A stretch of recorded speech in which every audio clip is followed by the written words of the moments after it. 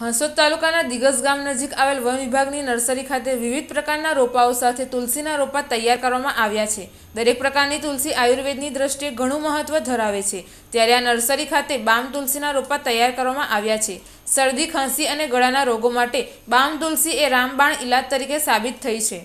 આયુર્વેદિક ખજાનાઓ ઉત્તમ ખજાનો છે. આયુર્વેદના સંશોધનો સજાગપણે આપણે અનુસરવા જોઈએ. આજની પરિસ્થિતિ જોતા એવા ઘણા રોગો છે કે જેનો રામબાણ ઇલાજ માત્ર ને માત્ર આયુર્વેદિક છે. કોરોના મહામારીમાં આયુર્વેદિક જડીબુટ્ટી તેમજ દરેક પ્રકારની તુલસી ઉત્તમ સાબિત થઈ છે. હંસોદ તાલુકાના દિગસ ગામ નજીક વન વિભાગની નર્સરી આવેલી છે. આ નર્સરીમાં વિવિધ પ્રકારના રોપાઓ તૈયાર કરવામાં આવે છે. આ રોપાઓની સાથે દરેક પ્રકારની તુલસીના રોપાઓ તૈયાર કરી ઉછેરવામાં આવ્યા છે. જેમાં એક અલગ જાતિની તુલસીના રોપાઓ તૈયાર કરી ઉછેરવામાં આવી રહ્યા છે. મિથોન્સ એટલે કે બામ તુલસીના રોપાઓ ઉછેરવામાં આવ્યા છે.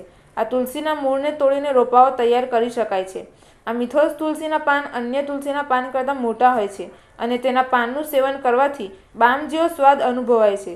શરદી, ખાંસી, ગળાના રોગો તેમજ ઇન્ફેક્શન જેવા રોગો માટે રામબાણ ઇલાજ છે.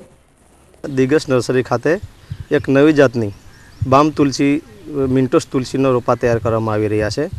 આજની પરિસ્થિતિ જોતાં એવા ઘણા રોગો છે કે જેનો રામબાણ ઇલાજ માત્ર ને માત્ર આયુર્વેદિક છે. આપણો આયુર્વેદિક ખજાનો એ ઘણો ઉત્તમ ખજાનો છે. દરેક જાતની તુલસીનો આયુર્વેદની દૃષ્ટિએ ખૂબ જ ઘણું મહત્ત્વ ધરાવે છે. પરંતુ અત્યારે નવા નવા સંશોધનો, આયુર્વેદિકના સંશોધનો સજગપણે આપણે અનુસરવા જોઈએ. આમ એક એનો જ ભાગરૂપે દિગસ નર્સરી ખાતે બામ મિન્ટોસ તુલસીનો રોપા તૈયાર કરી, કરેલા છે. જે શરદી ખાંસી ગળાના રોગો ઇન્સ્પેક્શન જેવા રોગોમાં રામબાણ ઇલાજ છે.